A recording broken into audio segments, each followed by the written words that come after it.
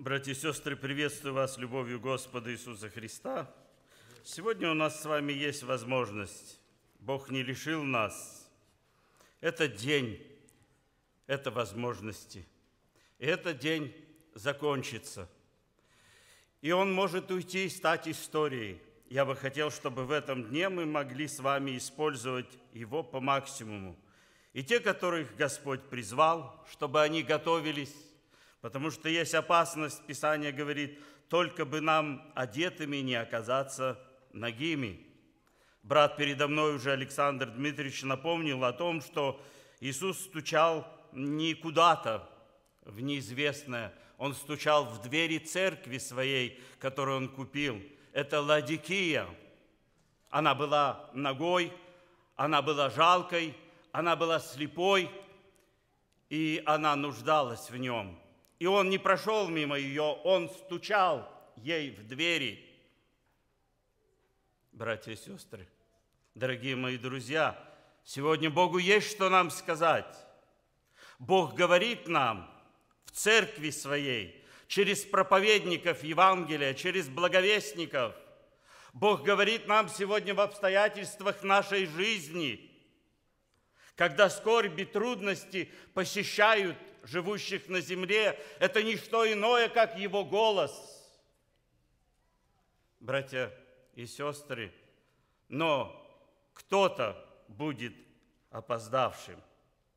Кто-то будет иметь правильные мысли о Божьих судах, о Божьем конце. Много будет знать, но не успеет войти. И такая опасность существует. Если вы знакомы немножко с учением Иисуса Христа, Евангелие от Матфея, 25 глава, Иисус Христос говорит, тогда Царство Небесное будет подобно десяти девам, пять мудрых и пять неразумных. И когда жених пришел, то мудрые вошли с ним, и двери затворились. После приходят и неразумные девы – и расстояние это было всего ничего. Это дверь. И когда они стояли перед дверью и говорили, Господи, Господи, отвори нам, они услышали голос. Не дай Бог, чтобы кто из нашего собрания сегодня, слышите, услышал это. Но ведь будут люди, которые услышат этот голос. Отойдите от меня, я никогда не знал вас. Это опасность. Потому что когда мы, слыша Слово Господне, не даем Ему места в нашем сердце, это бывает страшной трагедией. Да избавит нас Господь от этого. Братья и сестры, желание сегодня моего сердца как раз поговорить о том, что Бог начал делать на нашей земле уже почти больше, чем две тысячи лет – Написано так в послании к евреям, Бог многократно, многообразно говоривший отцам в пророках, в последние дни сии говорил нам в Сыне, через которого и веки сотворил. Именно к Божьему Евангелию сегодня мне хочется и повести наше дорогое собрание. Братья и сестры, откроем сегодня страницы книги Святого Евангелия от Луки, 19 глава, и прочитаем один стих, первый. «Потом Иисус вошел в Иерихон и проходил через него». Братья и сестры, мы с вами слышали о том, что Евангелие Иисуса Христа в последние дни и больше нет ничего наиважнее, чем то, чтобы мы могли услышать. Я сегодня хотел бы на четыре вопроса на ответить. Кто спасает? Второе, мы с вами услышим, где спасает? Третье, кого спасает? И четвертое, как спасает? Безусловно, речь идет о нашем Спасителе Иисусе Христе. Это о нем Дух Святой говорит, Он может всегда спасать приходящих к Нему через него к Богу. Он может всегда спасать. Удивительно, Священное Писание говорит тоже в Евангелии от Луки, когда люди изумились, что Иисус Христос сказал, что удобнее верблюду войти сквозь игольные уши, нежели богатому войти в Царствие Небесное. Они испугались и задали ему риторический вопрос, а кто же тогда может спастись? Иисус ответил, слышите, человеком это невозможно, Богу же все возможно.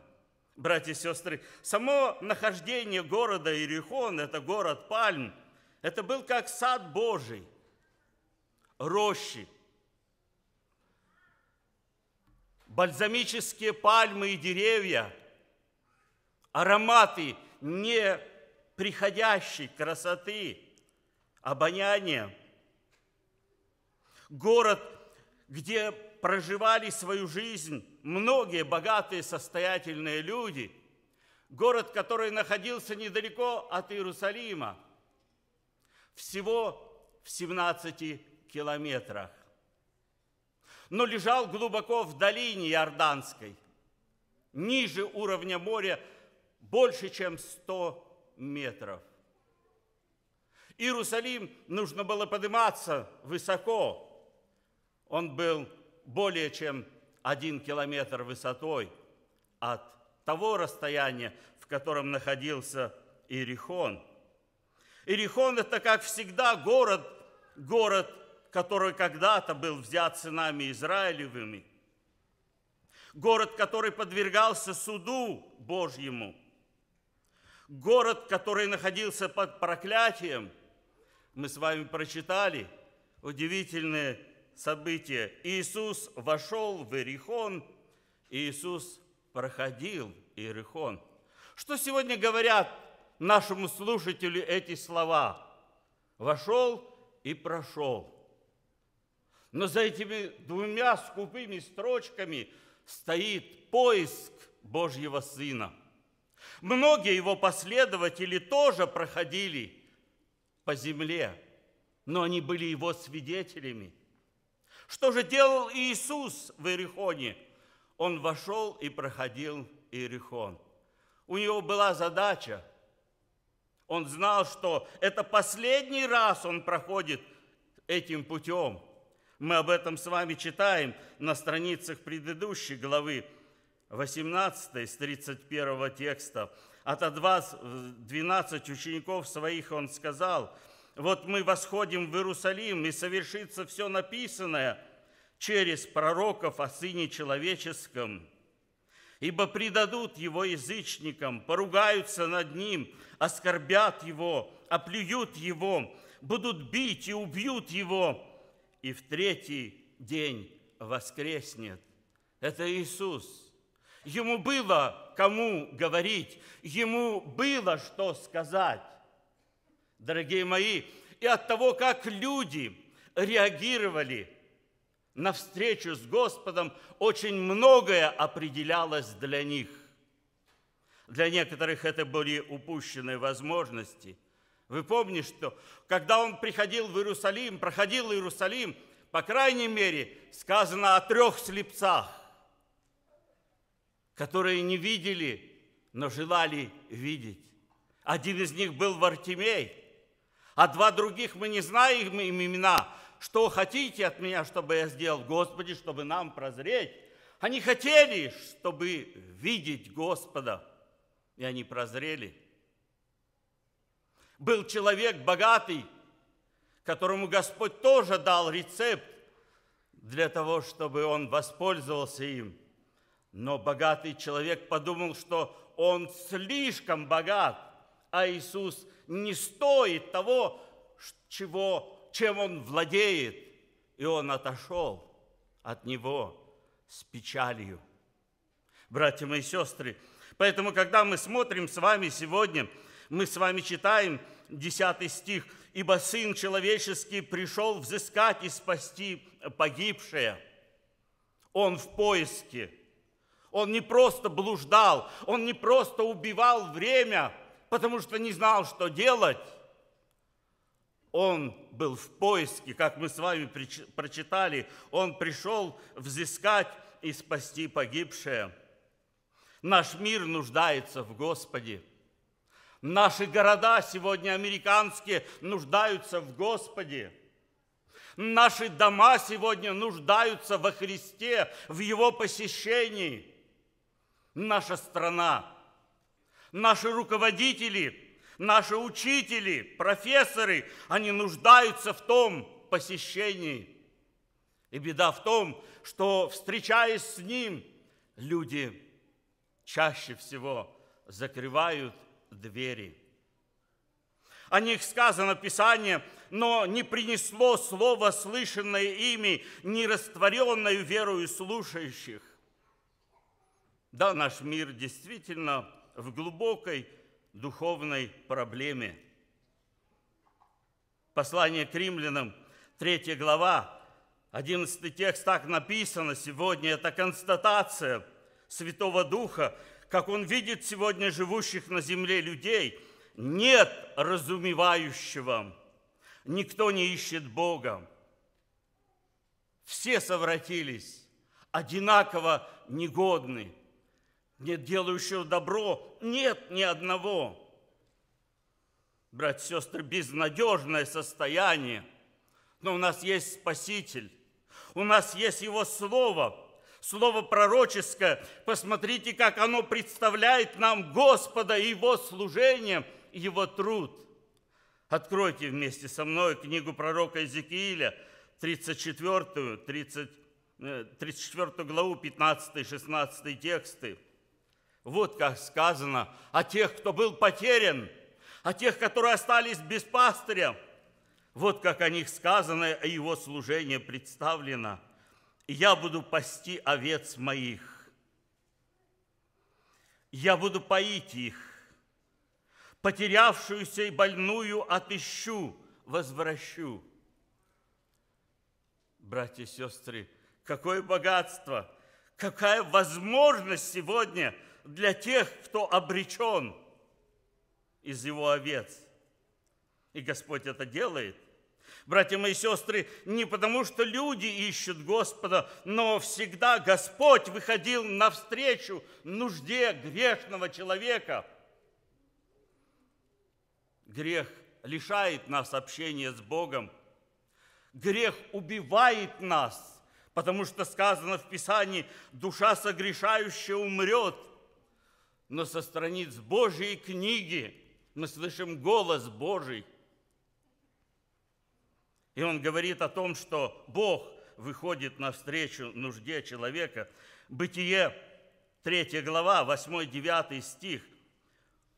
«Услышали голос Господа Бога, ходящего в раю во время прохлады дня, и скрылся Адам и жена его от лица Господа между деревьями рая – и возвал Господь Бог к Адаму и сказал, Адам, где ты? Братья и сестры, потрясающая весть. Сегодня для живущих на земле Бог выходит навстречу отчаянной, безнадежной нужде грешника. Братья и сестры, когда Бог зовет грешному человеку, Он ищет возможности спасти его – погибшую душу. Братья и сестры, вот как Писание говорит сегодня о живущих на земле людях. Послание Ефесянам, 4 глава, 17-19 тексты. Написано, мы жили и поступали, как прочие народы, поступают по суетности ума своего, помрачены в разуме своем, отчуждены от жизни Божьей по причине их невежества, ожесточения их сердца. Они, дошедшие до бесчувствия, предались распутству так, что делают всякую нечистоту с ненасытимостью. Братья и сестры, абсолютно нет никакой надежды для таких людей – они погибают, они сгорают в похотях и помыслах. Они погибшие существа, но, как с вами мы прочитали, Иисус Христос приходит к ним. Как доктор ищет больных, и у него есть все необходимое, так Иисус Христос выходит навстречу этой отчаянной нужде. Посмотрите, как пророк Исаия, как пророк Исаия видит народ, среди которого он совершал свое служение. Первая глава, третий и шестой тексты. Мы так читаем. «Вол знает владетеля своего, осел ясли господина своего, а Израиль не знает меня, народ мой не разумеет, Увы, народ грешный, народ, обремененный беззакониями, племя злодеев, сыны погибельные, оставили Господа, презрели святого Иаковлева, Израилева, повернулись назад. Во что ваш бить еще продолжающее свое упорство? Вся голова в язвах, и все сердце исчахло – от подошвы ноги до темени головы нет у него здорового места, язвы, пятна, гноящиеся раны, неочищенные, не обвязанные, не смягченные елеем. Братья и сестры, неприглядная картина, когда мы смотрим, это больные люди, пораженные грехом. Но приходит Иисус – и мы с вами прочитали, что он вошел в Иерихон. Он вошел в Иерихон и проходил через него.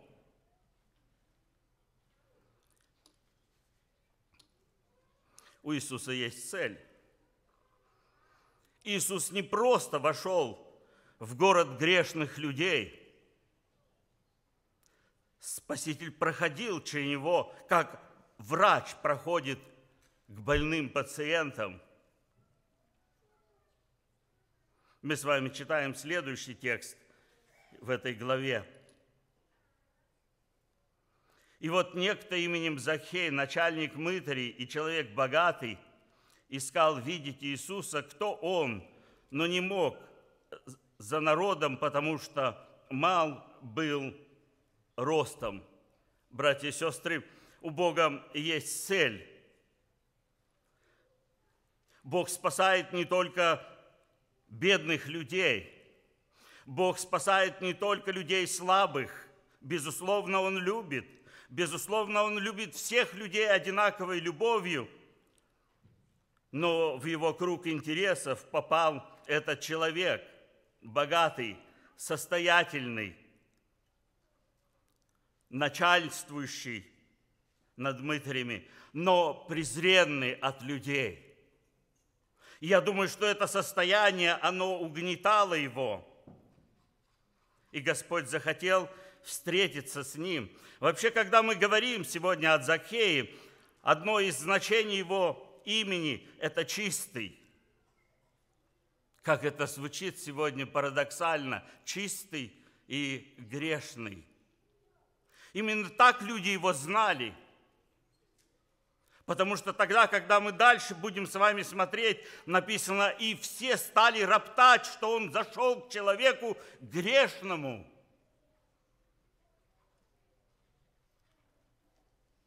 Люди презирали, когда человек водил дружбу с такс-коллекторами, с мытарями.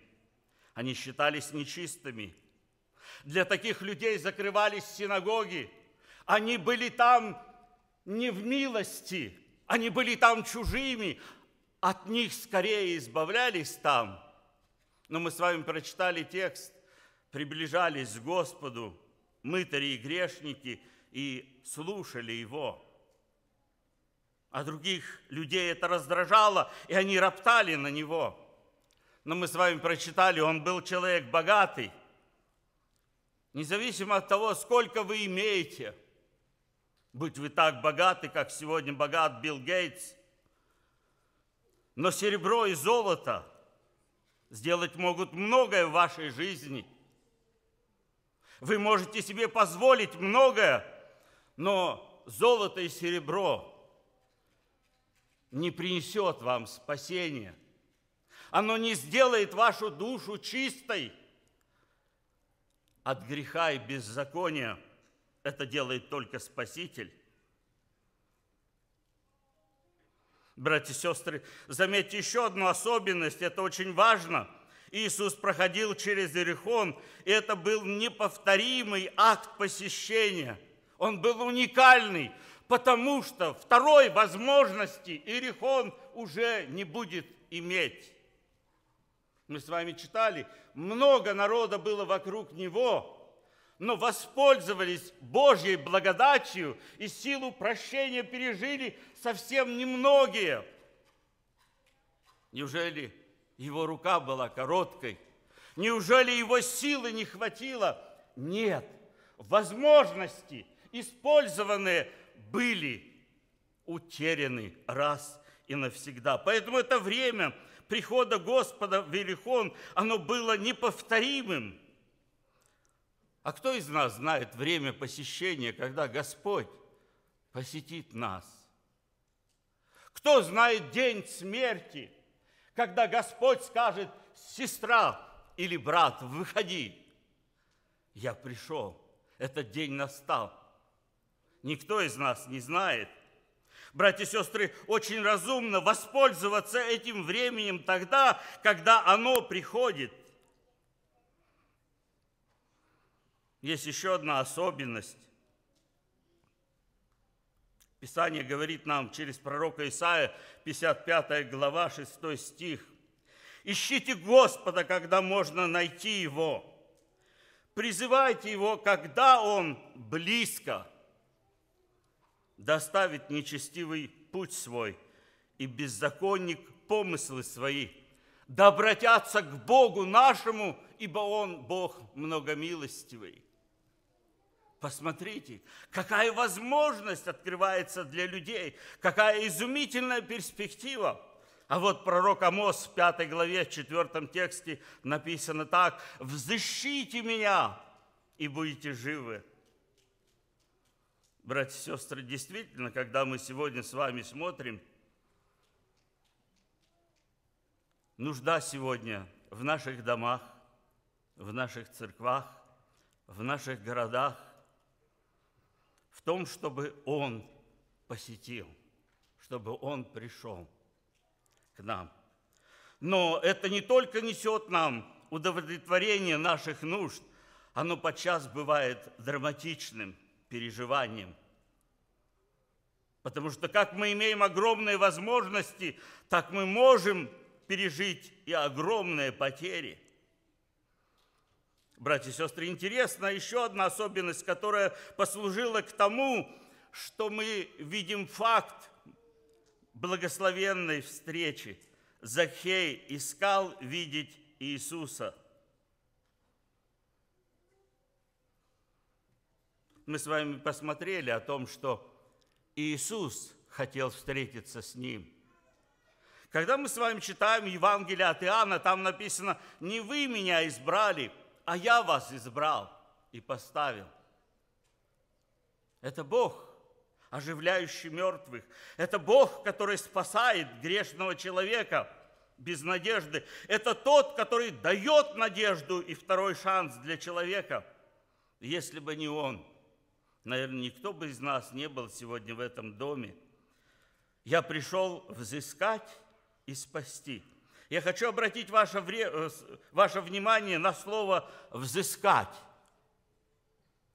Взыскать. Посмотрите, что значит это слово. Взыскать – это преследовать. Взыскать – это высматривать. Взыскать – это искать. Это еще четвертое значение – ухватить. Ухватить.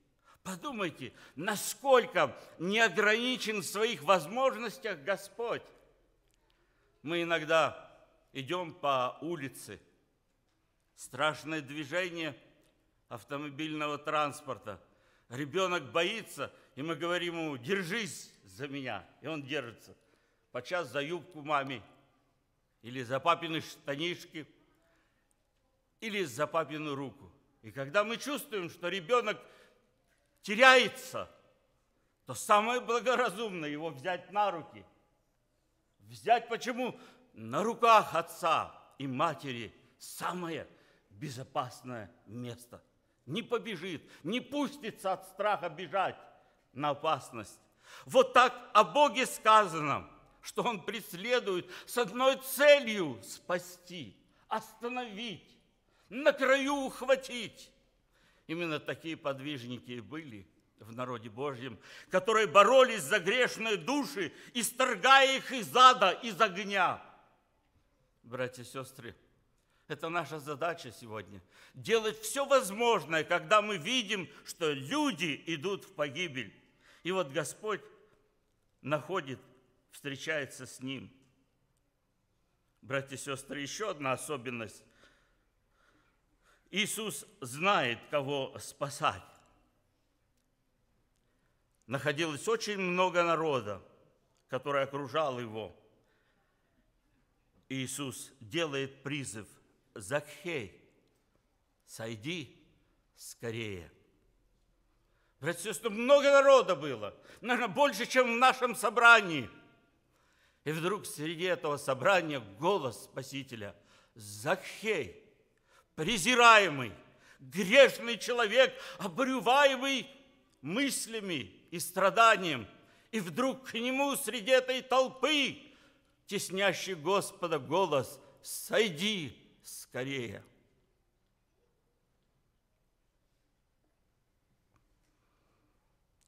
Но Иисус наметил с ним эту встречу.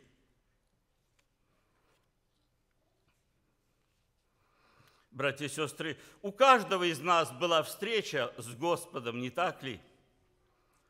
И мы не знаем, где она произойдет – с, с нашими детьми. Посмотрите, у Моисея эта встреча произошла, когда он был далеко в пустыне от места своего жилья. У Павла Апостола произошла дорога, встреча на дороге в Дамаск в полдень. Петр Апостол пережил эту встречу с Господом, когда его лодка была наполнена рыбой так, что она уже начинала тонуть. И вот тогда только его глаза открылись, и он припал к Господу и сказал, «Выйди, Господи, я человек грешный». Но это были встречи. Женщина-самарянка пришла к колодцу, и это была ее встреча, которая изменила всю ее жизнь. Эта встреча была назначена Господом и для Захея. Братья и сестры, когда мы ищем Господа, это не значит, что у нас все идет ладно, как мы написали сценарий. Иногда Бог наши записки эти рвет и выбрасывает в мусорный бачок, потому что мы не знаем, где и как дышит Дух Господень, но Он дышит, Он работает. Так бывает со всяким рожденным от Духа. И поэтому, братья мои сестры, когда он искал встретиться с Господом и видеть Его, то он не мог. Это как раз говорит о том, что он делал попытку раз за разом, но все его попытки не увенчались успехом. Он был слишком коротким. Коротышкой он был, малым ростом. Это, по крайней мере, где-то метр с небольшим. Он не мог видеть. Но когда он увидел смоковницу, что-то внутри сказала, беги туда. Этот серьезный человек, начальник мытарей, человек богатый, пустился бежать. Я думаю, что люди могли осуждать его и еще делать из этого посмешища. Ну, бежит куда-то. Но его старания не не обманула его, потому что когда он влез на смоковницу, Иисус увидел его и позвал его. Заметьте, здесь еще один урок для нас. Он позвал его лично, не кого-то, не всех. Господь позвал его лично. Закхей, сойди скорее. Братья и сестры, здесь есть еще четвертый урок – Четвертый урок говорит о том, что это была возможность, которая была очень короткая, но она была судьбоносная. Мне надобно быть у тебя. Она была неотложной, ее нельзя было перенести и сказать, я сегодня не готов, через три дня, Спаситель, я распахну двери дома для тебя. Мне надобно сегодня быть у тебя дома. Человек грешный, человек, который жульничал, мошенничал, человек, который обирал других и жил за счет этого, и стяжал себе богатство, ему было что приводить в порядок – но когда Господь обратился к нему, он принял Господа. Он с радостью сошел и сказал, Господь, это Твое. А когда люди обескураживающие начали поносить его и говорить, ты вошел к человеку грешному, братья и сестры, он пережил раскаяние, он пережил новую жизнь в своей жизни. И от мошенника, жулика, нечестиво обогащавшегося человека, он стал нашим братом по духу. Так Господь Иисус говорит о нем. Он сказал, Господи, половину имения своего я раздам нищим, а кого обидел, воздам ему в четверо. Именно так, именно так мы можем судить. Почему? Потому что книга Исход, 22 глава, 1 стих говорит, кто у кого что-то возьмет, украдет, убьет, то должен заплатить за это в четверо. Отсюда мы можем говорить о том, что действительно люди в своем представлении о нем были правы. Но посмотрите, как Господь встретил это – Господь сказал, сегодня в этот дом пришло спасение, потому что и он сын Авраамов. Все вы сыны Божии по вере во Христа. Это наше сыновство, это наш брат, которого, которого спас Господь. Дорогие мои, вы сегодня слышали слово. Вы сегодня слышали слово о том, кто спасает – где спасает, кого спасает и как спасает. Братья и сестры, помните, те трое слепых, они хотели видеть, и они стали видеть. Вы помните, этот маленький коротышка, он хотел и искал видеть Иисуса, его желание Господь удовлетворил.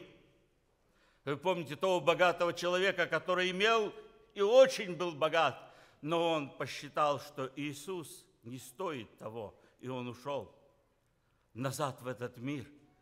Братья мои сестры, точно так сегодня можем, можно и, и нам упустить возможности.